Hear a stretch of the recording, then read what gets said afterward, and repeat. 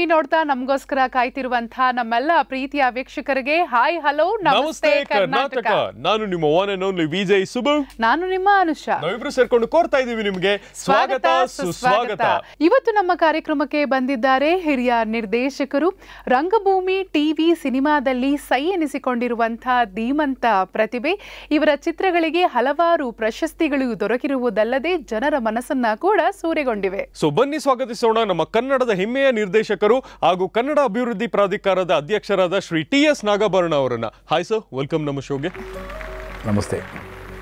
Sir ಈಗ ನಿಮ್ಮ ಹೆಸರಿಗೆ ಬರೋವಾಗಿದ್ರೆ ನಾಗಾಭರಣ ಒಂಥರ ಯುನೀಕ್ ಆಗಿದೆ ಒಂಥರ ವಿಶಿಷ್ಟವಾಗಿದೆ. ಎಲ್ಲಿಂದ ಬಂತು ಸರ್ ಈ ಒಂದು ಹೆಸರು? ಮೂಲತಃ ನಮ್ಮಪ್ಪ ಕುವೆಂಪು ಅವರ ಶಿಷ್ಯ. ಓಕೆ ಅವ್ರಿಗೇನೋ ಒಂದು ಕುವೆಂಪು ಅವರಿಂದ ಬ ಪಡೆದುಕೊಂಡಂಥ ಒಂದು ಇದಿತ್ತು. ಆಶ್ರಿತ ಅಂತ ಒಂದು ಕಾವ್ಯನಾಮದಲ್ಲಿ ಒಂದಷ್ಟು ಬರಿತಾ ಇದ್ರು. ನನಗೆ ಅವ್ರ ಬರವಣಿಗೆ ಎಲ್ಲ ಒಂದು ದಿವಸ ಸಿಕ್ತು. ನಾನು ಕೇಳಿದೆ ಇದೇನಿದು? ಯಾರಿದು? ಒಂದೇ ಸುಮ್ಮನೆ ಒಂದ್ಸಲ ನಕ್ಬಿಟ್ಟು ಹೋದ್ರು ಆ ಕಡೆಗೆ. ಅಂದರೆ ಅವರೇ ಅಂತ ಆಮೇಲೆ ಗೊತ್ತಾಯ್ತು. ಆ ಶ್ರೀನಿವಾಸಯ್ಯ ತಲಕಾಡು ಅಂತಿತ್ತು. ಆ ಶ್ರೀತ. ನಮ್ಮ ಫಾದರ್ ಏನು ಹೇಳಿದ್ರು ಅಂದರೆ ನಾಲ್ಕನೇ ಕ್ಲಾಸಿಗೆ ಸೇರಿಸಿದ್ರು ನಾನು. ಒಂದು ಕ್ಲಾಸ್ ಜಂಪ್ ಮಾಡಿಸಿದ್ರು. ಓಕೆ ಭಾಳ ಬುದ್ಧಿವಂತ ಅವನು. ಮೂರು ಇಲ್ಲ ಆಗಿದೆ. ನಾಲ್ಕಕ್ಕೆ. ಅವ್ರು ನಾಲ್ಕಕ್ಕೆ ಸೇರಿಸ್ಕೊಂಬಿಟ್ರು ನಾನು ಓಕೆ ಸೇರಿಸುವಾಗ ಈ- ಅಲ್ಲಿ ನನ್ನ ಹೆಸರನ್ನು ಭಾಳ ಸ್ಫುಟವಾಗಿ ನಾಗಾಭರಣ ಅಂತ ಬರ್ಸಿದ್ರು ಓಕೆ. ಅವ್ರು ಯಾವಾಗ ಅದು ನಾಗಾಭರಣ ಅಂತ ಬರ್ಸಿದ್ರು ಅಲ್ಲಿಂದ ಆಚೆಗೆ ಫಸ್ಟು ಒಂದಷ್ಟು ದಿವಸ ನನಗೆ ದಿಗ್ಭ್ರಮೆ ಏನಿದು ಏನಿದು ಅಂತ. ಅದು ಹಾಗಂದ್ರೆ ಏನು ಅಂತ ಕೇಳಿದೆ. ಏ ನಾಗನನ್ನು ಆಭರಣವಾಗಿ ಉಳ್ಳವನು ಅಂದರೆ ಶಿವ ಅಂತ ಅಂತ ಎಕ್ಸ್ಪ್ಲೈನ್ ಮಾಡಿದ್ರು. ಸೊ ಅದಾದಮೇಲೆ ಯಾರು ಕೇಳಿದ್ರು ನಾಗನನ್ನು ಆಭರಣವಾಗಿ ಉಳ್ಳವನು ಶಿವ. ನನ್ನ ಹೆಸರು ನಾಗಾಭರಣ ಅಂತ ಹೇಳಕ್ಕೆ ಶುರು ಮಾಡಿ ಸರ್ ನಿಮ್ಮ ಮೊದಲ ಚಿತ್ರ ಗ್ರಹಣ ಡಿರೆಕ್ಷನ್ನಲ್ಲಿ ಆ, ರಂಗಭೂಮಿ ಮೂಲತಃ ಅನ್ನೋದ್ರ ಬಗ್ಗೆ ಎಲ್ಲರಿಗೂ ಗೊತ್ತಿರುವಂಥ ವಿಚಾರನೇ. ಗ್ರಹಣ ಚಿತ್ರದ ಬಗ್ಗೆ ಹೇಗೆ ಸರ್? ಕೋಡಳ್ಳಿ ಶಿವರಾಮ್ ಅಂತ ಆ ಊರಿನ ಬಗ್ಗೆ ಇದರ ಬಗ್ಗೆ ಭಾಳ ಅರಿವಿದ್ದಂಥವರು. ಅವರೇ ಕಥೆಯನ್ನು ಮತ್ತು ನಿರ್ಮಾಣವನ್ನು ಮಾಡ್ತೀನಿ ಅಂತ ಬಂದರು. ಸೊ ಹೀಗಾಗಿ ಕಥೆ ಜೊತೆಗೆ ನಿರ್ಮಾಣದ ಇದನ್ನು ಅವ್ರು ತಗೊಂಡಿದ್ದರಿಂದಾಗಿ ನಾನು ಡೈರೆಕ್ಟ್ರಾಗಿ ಎಂಟ್ರಾಗ್ಬಿಟ್ಟೆ ನೇರವಾಗಿ. ಆದರೆ ಸಿನಿಮಾ ಮಾಡ್ತಾ ಮಾಡ್ತಾ ಮಾಡ್ತಾ ಚಿತ್ರಕಥೆ ಕತೆ ಚಿತ್ರಕಥೆ ಎಲ್ಲವನ್ನೂ ಬದಲಾಯಿಸಬೇಕಾಗಿ ಬಂತು. ಕಾರಣಗಳಿಂದ ಕಾರಣಾಂತರಗಳಿಂದ. ಯಾಕೆಂದ್ರೆ ಮೂರು ವರ್ಷ ಸಿನಿಮಾ ಮಾಡಿದೆ. ಆ ಮೂರೂ ವರ್ಷದ ಅವಧಿಯಲ್ಲಿ ಆ ಸಿನಿಮಾ ಹೇಗಾಗ್ತು? ಯಾಕೆಂದ್ರೆ ಒಂದು ಮೊದಲನೇ ಸಲ ಒಂದು ರಿಚುವಲ್ ಆದಮೇಲೆ ಆ ಉಜ್ಜಿನಿ ಜಾತ್ರೆ ಮುಂದಿನ ವರ್ಷದವರೆಗೂ ಕಾಯಬೇಕಾಗಿತ್ತು ನಾನು. ಮಧ್ಯೆ ಮಾಡೋಕ್ಕೆ ನಮಗೆ ದುಡ್ಡಿಲ್ಲ. ಈ ಈಗ, ಈಗಿನ ಕಾಲ ಆಗಿದ್ರೆ ಅದನ್ನ ಸೆಟ್ ಹಾಕೊಂಡ್ರಿ ಅಂತ ನಾನು ಜನ್ಮ ಜೋಡಿಲಿ ಜಾತ್ರೆನೇ ಮಾಡಿದ್ನಲ್ಲ, ಆ ರೀತಿ ಒಂದು ಮಾಡಿಸ್ಬೋದಾಗಿತ್ತೇನೋ. ಆದರೆ ಅದು ದುಡ್ಡೇ ಇರಲಿಲ್ಲ. ನಮಗೆ ನಾನ್ನೂರು ಅಡಿ ಫುಟ್ ಫುಟೇಜ್ ಸಿಗುತ್ತೆ ನೆಗೆಟಿವ್ ಸಿಗುತ್ತೆ ಅಂದರೆ ದೊಡ್ಡ ಆಹಾರ ಸಿಕ್ಕದಷ್ಟು, ದೊಡ್ಡ ಭಾರಿ ಭೋಜನ ಸಿಕ್ಕ ಹಾಗೆ. ಆ ರೀತಿ ಮೂರು ವರ್ಷಗಳ ಕಾಲ ಸಿನಿಮಾ ಮಾಡಿದೆ. ಇಷ್ಟೊಂದೆಲ್ಲ ಕಷ್ಟ ಬಿದ್ದಿದ್ದಕ್ಕೆ, ಒಂದು ಹೊಸ ಯುನಿಕ್ ಅಪ್ರೋಚ್ನ ಮಾಡಿದ್ದಕ್ಕೆ, ಆ ಒಂದು ಚಿತ್ರಕ್ಕೆ ನಿಮಗೆ ನ್ಯಾಷನಲ್ ಅವಾರ್ಡ್ ಕೂಡ ಸಿಗತ್ತೆ. ಒಂದಲ್ಲ ಎರಡು. ಎರಡು ಓಕೆ. ಹೇಳ್ಕೋಬೇಕು ಅಂತ. ಕಾರಣ ಯಾಕೆ ಅಂದರೆ ನನ್ನ ಮೊದಲ ಚಿತ್ರಕ್ಕೆ ಈ- ಎರಡು ನ್ಯಾಷನಲ್ ಅವಾರ್ಡ್ ಬಂದರೆ ಹೇಗಾಗ್ಬೇಡ? ಹೌದು. ಒಂದು ರಾಷ್ಟ್ರೀಯ ಭಾವೈಕ್ಯತಾ ಪ್ರಶಸ್ತಿ. ಹೌದು. ಈ ಈ ರಾಷ್ಟ್ರೀಯ ಭಾವೈಕ್ಯತೆಯ ಪ್ರಶಸ್ತಿಯನ್ನು ನಾನು ಮೂರು ಸಲ ಪರ್ಕೊಂಡಿದ್ದೀನಿ ಆಮೇಲೆ. ನನ್ನ ಮೂರು ಚಿತ್ರಗಳಿಗೆ ಬಂದಿದೆ. ಬೇರೆ ಯಾರಿಗೂ ಇಂಡಿಯಾದಲ್ಲಿ ಬಂದಿಲ್ಲ. ಹಾಗೆಯೇ ಅದಕ್ಕೆ ಸ್ಕ್ರಿಪ್ಟ್ ಬೆಸ್ಟ್ ಸ್ಕ್ರಿಪ್ಟ್. ಓಕೆ. ನಾನು ಮತ್ತು ಟಿ ಎಸ್ ರಂಗ ಸ್ಕ್ರಿಪ್ಟ್ ಮಾಡಿದ್ದು ಅಂತ. Actually in a way T S Ranga ಮೊದಲು ಮಾಡಿದ ಸ್ಕ್ರಿಪ್ಟನ್ನು ಮತ್ತೆ ಮತ್ತೆ ಮತ್ತೆ ಚೇಂಜ್ ಮಾಡಬೇಕಾಗಿ ಬಂತು. ಕಾರಣ ನಾನು ಆಗಲೇ ಹೇಳಿದಾಗೆ ಇಡೀ ಸಿನಿಮಾನ ಮತ್ತೆ ರೀವರ್ಕ್ ಮಾಡ್ತಾ ಹೋದ್ವಿ. ಅದರಿಂದ ರಂಗ ಭಾಳ ಕೋಪ ಮಾಡಿಕೊಂಡು ನಾನು ಚಿತ್ರಕಥೆನೇ ಬಳಸಿಲ್ಲ ಅಂತೆಲ್ಲ ಬೀಸಾಕಿ ನಾ ಮಾರು ಬರೋದಿಲ್ಲ ಅಂತೆಲ್ಲ ಹೊರಟೋಗಿದ್ರು ಪಾಪ. ಆಮೇಲೆ ಎಲ್ಲ ರೆಡಿಯಾಗಿ ಅದು ಸಿನಿಮಾ ನೋಡಿದ ಮೇಲೆ ಎಷ್ಟು ಚೆನ್ನಾಗಾಗಿದೆ ಎಂತ ಭಾಳ ಒಳ್ಳೆ ಎಕ್ಸ್ಪೆರಿಮೆಂಟ್ ಅಂತ he came back okay and national award ತೊಗೊಳ್ಳೋವಾಗ you was so proud ಹೌದು. And I was so proud so ಒಂದು ಅರ್ಥದಲ್ಲಿ ಒಂದು ದೊಡ್ಡ ಜವಾಬ್ದಾರಿಯನ್ನು ಆವತ್ತೇ ತಲೆ ಮೇಲೆ ಹಾಕ್ಕೊಂಡೆ ಓಕೆ ಹಾಕ್ಬಿಟ್ರು ನನ್ನ ತಲೆ ಮೇಲೆ. ಸರ್ ನೀವು ಹಲವಾರು ಕಾದಂಬರಿ ಆಧಾರಿತ ಚಿತ್ರಗಳನ್ನು ಆಯ್ಕೆ ಮಾಡ್ಕೊಂಡಿದ್ದೀರಾ? ಇದು ಎಷ್ಟು ಅಡ್ವಾಂಟೇಜ್ ಸರ್ ಸಾಹಿತ್ಯ ಇದೆಯಲ್ಲ ಅದು ಅಕ್ಷರಗಳ ಜೊತೆ ತನ್ನ ಭಾವನೆಗಳನ್ನು ಹೇಳ್ತಾ ಹೋಗುತ್ತೆ. ಹಾಗೆಯೇ ಪ್ರತಿ ಓದುಗ ಕೂಡ ಒಬ್ಬ ನಿರ್ದೇಶಕ ಅವನು ಒಬ್ಬ ಪ್ರೇಕ್ಷಕ ಎರಡೂ ಹೌದು ಹೌದು. ಹಾಗಾಗಿ ಆ ಓದುಗ ತನಗೆ ಬೇಕಾದಂತಹ ಹೀರೋವನ್ನು ತನಗೆ ಬೇಕಾದಂಥ ಹೀರೋಯಿನ್ನ ತನಗೆ ಬೇಕಾದಂಥ ಪಾತ್ರಗಳನ್ನು ತನಗೆ ಬೇಕಾದ ಪರಿಸರವನ್ನು ನಿರ್ಮಾಣ ಮಾಡ್ಕೋತಾ ಹೋಗ್ತಾನೆ. ಹೌದು. ಸೊ ಅಕ್ಷರ ಲೋಕ ಕೊಡೋದು ಅಂತಹ ಅದ್ಭುತವಾದಂತಹ ಕಲ್ಪನೆಯನ್ನು. ಇಲ್ಲಿ ಇರುವಂಥ ವ್ಯತ್ಯಾಸ ಏನಪ್ಪ ಅಂತಂದರೆ ನೀವು ಅಕ್ಷರ ಲೋಕದ ಇಮ್ಯಾಜಿನೇಷನ್ ಕಲ್ಪನೆ ಜೊತೆಯಲ್ಲಿ ಎಷ್ಟು ಒಬ್ಬರಾಗಿ ಒಬ್ಬರು ತಾಧ್ಯಾತ್ಮ್ಯತೆ ಹೋಗ್ಬೋದು. ಹಾಗೇ ಒಂದು ಸಿನಿಮಾ ನೋಡ್ತಾ ಇದ್ದಾಗಲೂ ಕೂಡ ನಿಮಗೆ ಆಹಾ ಅಂತ ಅಂದ್ಕೊಂಡು ಅದರೊಳಗಡೆ ಇಳಿಯುವಂಥದ್ದು ಎರಡೂ ಭಾವನೆ ಒಂದೇ. ಒಂದು ಭಾವಕೋಶ ಅದು ಏನು ಕ್ರಿಯೇಟ್ ಮಾಡುತ್ತೆ ಎರಡೂ ಒಂದೇನೆ. ಆದರೆ ಇದು ಮಾಧ್ಯಮ ಬೇರೆ ಆ ಮಾಧ್ಯಮ ಬೇರೆ. ಹೌದು. ಇದರ ರಿಕ್ವೈರ್ಮೆಂಟ್ಗಳು ಬೇರೆ ಅದರ ರಿಕ್ವೈರ್ಮೆಂಟ್ ಬೇರೆ. ಇಲ್ಲಿ ರಿಕ್ವೈರ್ಮೆಂಟ್ ಎಷ್ಟರ ಮಟ್ಟಿಗೆ ಅಂದರೆ ಭಾಳ ಒಂದು ಉದಾಹರಣೆಯೊಳಗೆ ಹೇಳ್ತೇನೆ. ನೀವು ಒಂದು ಮರದ ಕೆಳಗೆ ಒಬ್ಬ ಕೂತಿದ್ದ ಅಂತ ಹೇಳ್ತೀರಿ. ಒಂದು ಮರದ ಕೆಳಗೆ ಒಬ್ಬ ಕೂತಿದ್ದ ಕರೆಕ್ಟ್ ಅದನ್ನು ಕಾದಂಬರಿಯಲ್ಲಿ ನೀವು ಹೇಳಿದಾಗ ಯಾವ ಮರ ಅಂತ ಅವ್ರು ಹೇಳಿದ್ರು ನಡೀತದೆ. ಹೌದು. ಯಾವುದೋ ಮರದ ಕೆಳಗೆ ಒಬ್ಬ ಕೂತಿದ್ದ ಅಂತ. ಆದರೆ ಸಿನಿಮಾ ಮಾಡುವಾಗ ಹಾಗೆ ಮಾಡೋಕ್ಕಾಗಲ್ಲ. ಅವನು ಒಂದು ಮರದ ಕೆಳಗೆ ಕುಳಿತು ಹಾಲು ಕುಡಿಯುತ್ತಿದ್ದ ಅಂತ ಇಲ್ಲಿ ಹೇಳಿದ್ದಿರೆ. ಅಲ್ಲೇನಾಗಬೇಕಾಗುತ್ತೆ? ಯಾವ ಮರದ ಕೆಳಗೆ ಕೂತಿದ್ದ? ಈಚಲದ ಮರದ ಕೆಳಗೆ ಕುಡಿದು ಕೂತ್ಕೊಂಡು ಹಾಲು ಕುಡಿತಾ ಇದ್ನಾ?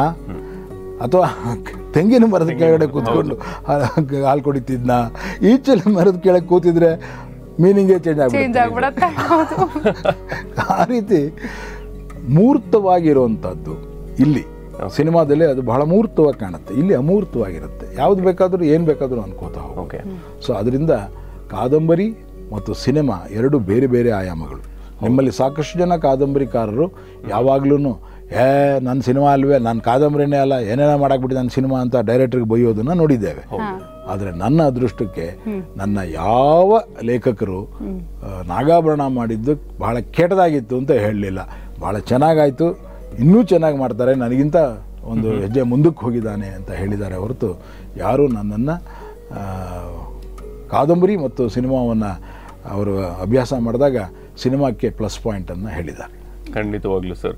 ಸರ್ ಇನ್ನು ಎಲ್ಲ ನಿರ್ದೇಶಕರಿಗೆ ಬಹುಶಃ ಎಲ್ಲರಿಗೂ ಕೂಡ ಕನ್ನಡ ಚಿತ್ರರಂಗದ ಧೀಮಂತ ನಾಯಕ ಅಪ್ಪಾಜಿಯವರು ಅಂದರೆ ಡಾಕ್ಟರ್ ರಾಜ್ಕುಮಾರ್ ಅವ್ರ ಜೊತೆ ಒಂದು ಸಿನಿಮಾ ಮಾಡಬೇಕು ಅಂತ ಆಸೆ ಇದ್ದೇ ಇರುತ್ತೆ. ಅದರಲ್ಲೂ ನಿಮ್ಮಿಬ್ರು ಕಾಂಬಿನೇಷನ್ ಅಂದಿದ ತಕ್ಷಣ ನಮಗೆ ದಿಢೀರಂತ ನೆನಪಾಗೋದು ಆಕಸ್ಮಿಕ. ಆಕಸ್ಮಿಕ ಚಿತ್ರದಲ್ಲಿ ಅಣ್ಣವರು ನಿಮ್ಮ ಕಾಂಬಿನೇಷನು ಹಂಸಲೇಖ ಅವರ ಕಾಂಬಿನೇಷನು ಎಲ್ಲ ಗೀತೆಗಳು ಅದರಲ್ಲೂ ಹುಟ್ಟಿದರೆ ಕನ್ನಡ ನಾಡಲ್ಲಿ ಹುಟ್ಟಬೇಕು ನಮ್ಮ ಕನ್ನಡದ ಆ್ಯಂಥಮ್ ಆಗಿಬಿಟ್ಟಿದೆ. ಈ ದಿನಗಳ ಬಗ್ಗೆ ಹೇಳಿ ಸರ್ ಅದನ್ನು ಭಾಳ ಸಲ ಹೇಳಿದ್ದೀನಿ ನಾನು ಆ್ಯಕ್ಚುಲಿ ಶಿವರಾಜ್ ಕುಮಾರ್ ಕತೆ ಮಾಡೋಕ್ಕೆ ಹೋಗಿದ್ದು. ಎರಡು ಕತೆ ತೊಗೊಂಡೋಗಿದ್ದೆ. ಒಂದು ಆಕಸ್ಮಿಕ ಇನ್ನೊಂದು ಜನ್ಮದ ಜೋಡಿ. ಎರಡು ಕತೆನೂ ಹೇಳಿಬಿಟ್ಟು ಇದರಲ್ಲಿ ಯಾವ್ದಾದ್ರು ಒಂದನ್ನು ಅವರು ಅನುಮೋದನೆ ಕೊಟ್ಟರೆ ನಾನು ಅದನ್ನು ಸಿನಿಮಾ ಮಾಡೋದು ಅಂತ ಹೋಗಿದ್ದು. ನನ್ನ ಗೌರಿ ನನ್ನ ಕ್ಯಾಮ್ರಾಮನ್.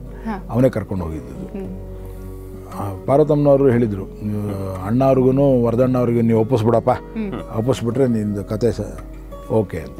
ಓಕೆ. ಸೊ ಅವ ಇಬ್ಬರು ಕತೆ ಕೇಳಿಬಿಟ್ಟು ಮೊದಲನೇ ಕತೆ ಆಕಸ್ಮಿಕ ಹೇಳಿದೆ.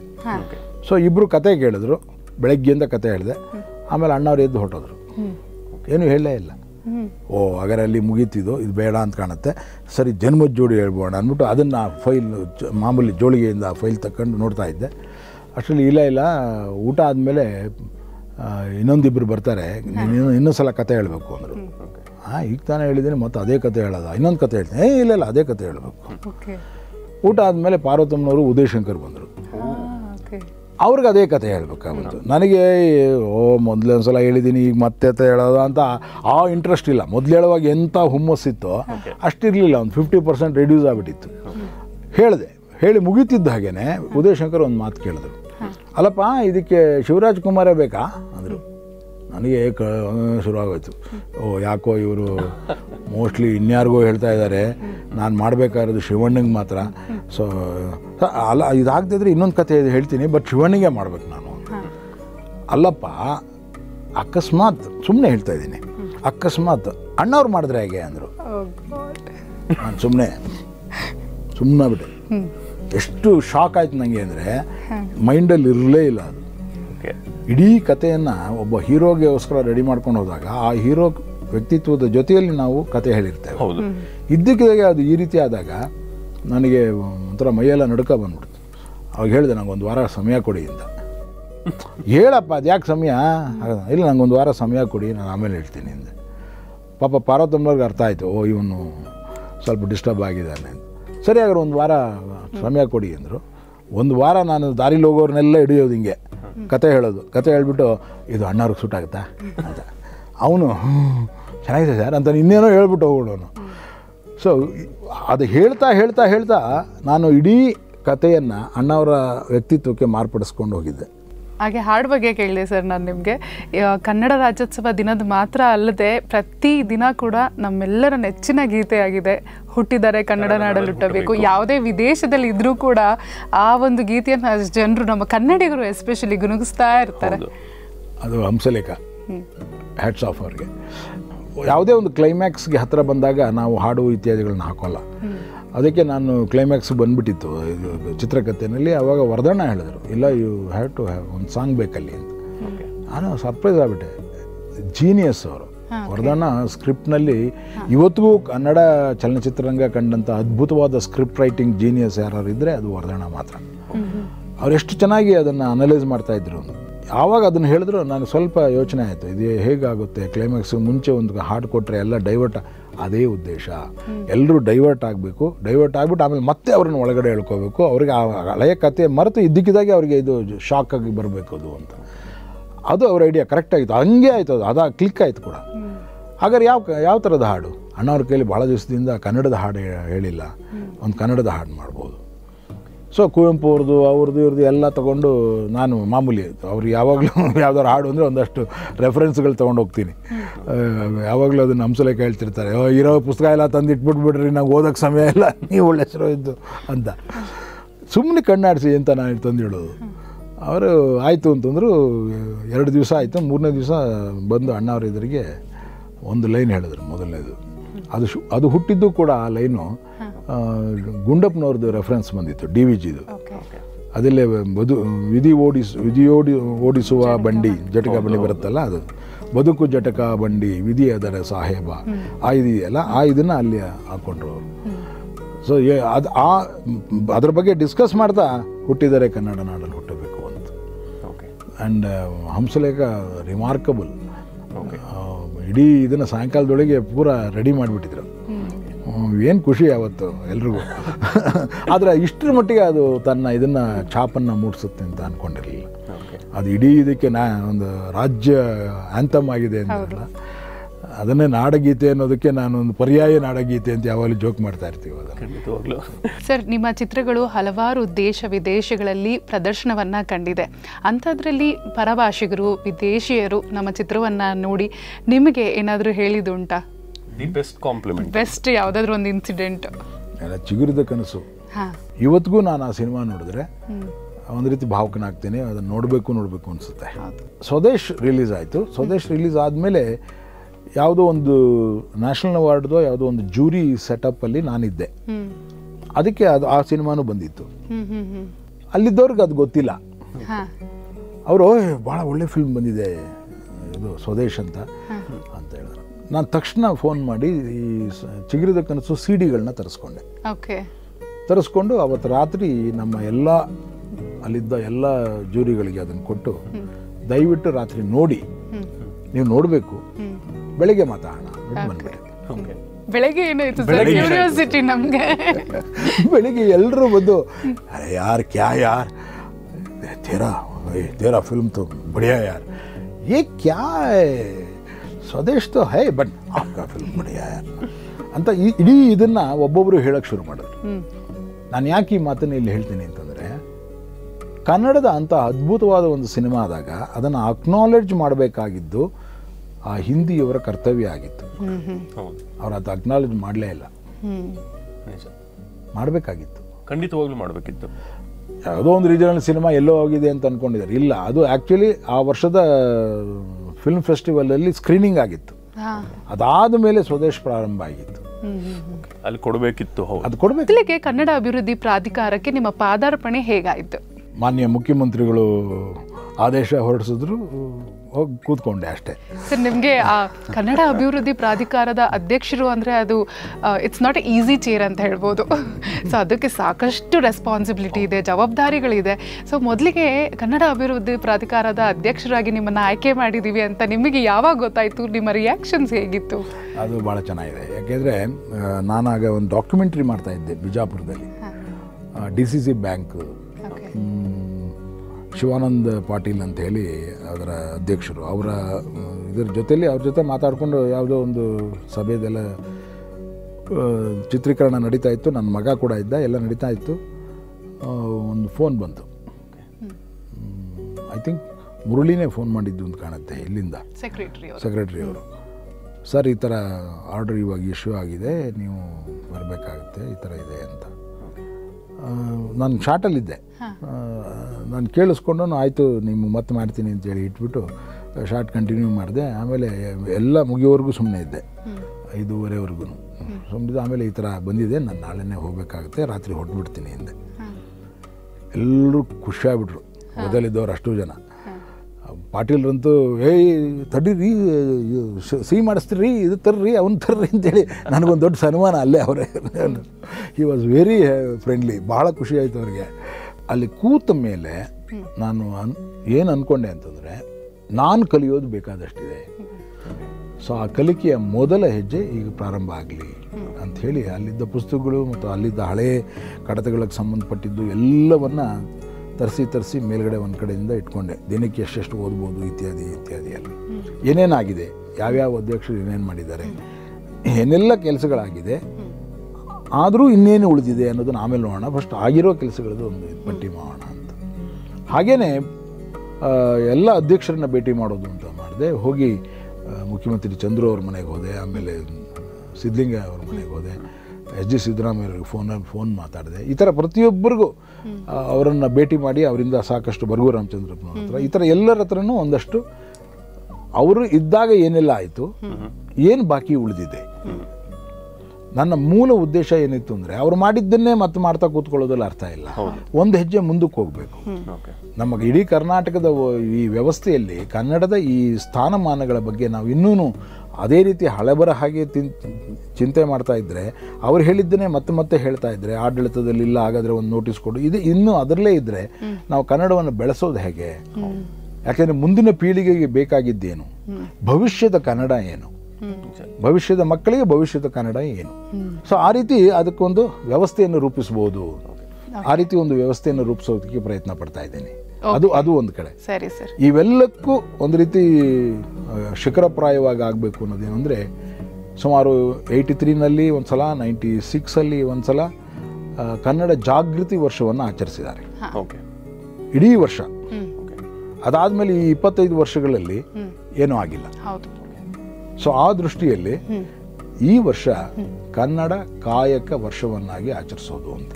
ಸರ್ ಕನ್ನಡ ಕಾಯಕ ವರ್ಷವನ್ನ ನೀವು ಪ್ರಾರಂಭ ಮಾಡಿದ್ದೀರಾ? ಕನ್ನಡ ಕಾಯಕ ವರ್ಷದಲ್ಲಿ ಏನೆಲ್ಲ ಕಾರ್ಯಕ್ರಮಗಳು ಹಮ್ಮಿಕೊಂಡಿದ್ದೀರಾ?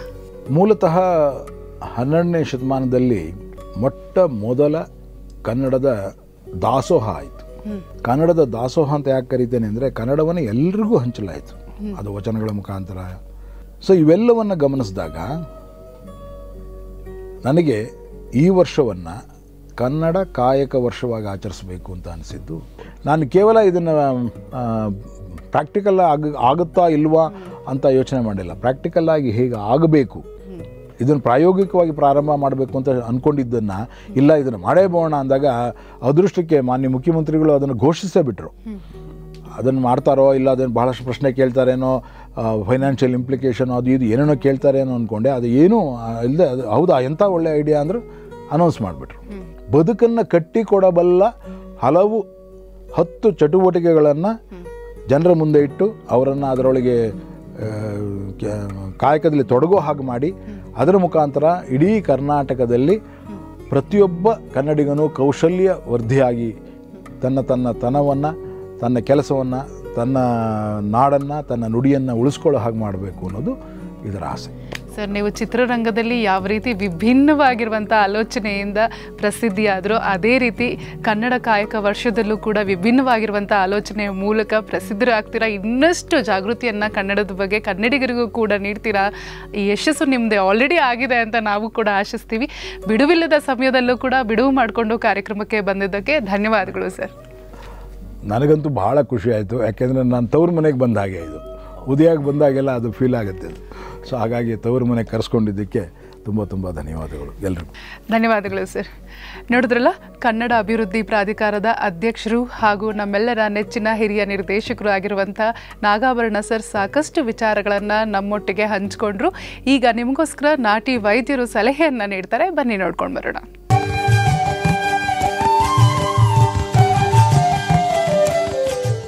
ಆತ್ಮೀಯ ವೀಕ್ಷಕರೇ ಇಂದಿನ ನಾಟಿ ವೈದ್ಯ ಕಾರ್ಯಕ್ರಮದಲ್ಲಿ ಚರ್ಮದ ರಕ್ಷಣೆಗಾಗಿ ಸುಲಭವಾದ ಔಷಧಿಯನ್ನು ನಾವು ನೋಡುತ್ತಿದ್ದೇವೆ.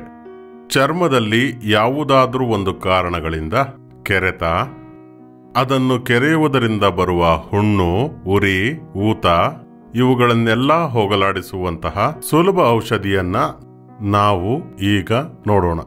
ಗರಿಕೆ ಹುಲ್ಲು, ಕಸಮಣಿ, ಅರಿಶಿನದ ಪುಡಿ. ಕಸಮಣಿಯ ಎಲೆಗಳನ್ನು ತೆಗೆದುಕೊಳ್ಳೋಣ.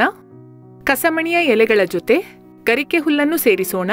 ಕಡ್ಡಿಗಳನ್ನು ತೆಗೆದು ಬಿಡಬೇಕು. ಕಡ್ಡಿಗಳನ್ನು ಹಾಕಿದರೆ ಅದು ಮಿಕ್ಸಿಯಲ್ಲಿ ಅರಿಯುವುದಿಲ್ಲ ಆದ್ದರಿಂದ ಕಡ್ಡಿಗಳನ್ನು ತೆಗೆದು ಎಲೆಗಳನ್ನು ಮಾತ್ರ ಕಲೆಕ್ಟ್ ಮಾಡಿಟ್ಟಿದ್ದೀವಿ. ಕಸಮಣಿ, ಗರಿಕೆ ಹುಲ್ಲು, ಅರಿಶಿನ ಪುಡಿ. ಇದಕ್ಕೆ ನೀರನ್ನು ಹಾಕಿ ಅರಿಯಬೇಕು.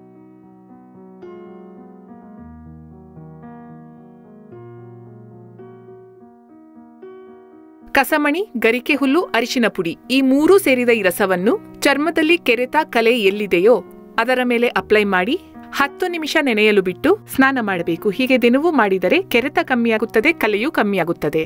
ಆತ್ಮೀಯ ವೀಕ್ಷಕರೇ, ಚರ್ಮದಲ್ಲಿ ಕೆರೆತ ಕೆಂಪಾಗಿರುವುದು, ಉರಿ, ಕಲೆ ಮುಂತಾದ ಇವೆಲ್ಲ ಕಾಣುವುದಕ್ಕೆ ಒವಾಮಿಕ್ ಅಲರ್ಜಿಕ್ ಎನ್ನುವ ನೆಲೆ ಒಂದು ಕಾರಣವಾಗಿ ಕಂಡುಬರುತ್ತದೆ. ನಾವು ಸೇವಿಸುವ ಔಷಧಿಗಳು ಸರಿ ಹೊಂದದೇ ಇದ್ದರೆ ಈ ತರದ ಸಮಸ್ಯೆಗಳು ಬರಬಹುದು. ಯಾವುದಾದ್ರೂ ರಾಸಾಯನಿಕ ವಸ್ತುಗಳ ಪರಿಣಾಮದಿಂದಾಗಿ ಈ ಕೆರೆತಗಳು ಉಂಟಾಗಬಹುದು. ಕೀಟಗಳ ಕಡಿತ, ಜೀರುಂಡೆ ಕಡಿತ ಎಂಬ ಕೆಲವು ಕಡಿತಗಳಿಂದಾಗಿ ಈ ತರಹದ ಒಂದು ಸ್ಥಿತಿ ಏರ್ಪಡುತ್ತದೆ. ಯಾವ ರೀತಿಯಾದರೂ ಕೆರೆತ, ಊತ, ಉರಿ ಬಂದರೂ ಕೂಡ ನಮಗೆ ಕಸಮಣಿ, ಅಕಾಲಿಪಾ ಇಂಡಿಕಾ ಎಂದು ಹೇಳುವ ಕಸಮಣಿ ಒಂದು ಸ್ಟಿಪ್ಟಿಕ್ ಎಂದು ಹೇಳುವ ರೀತಿಯಲ್ಲಿ ರಕ್ತವನ್ನು ಶುದ್ಧೀಕರಿಸುವ ಲಕ್ಷಣ ಹೊಂದಿದೆ. ಎಮೆಸ್ಟ್ಯಾಟಿಕ್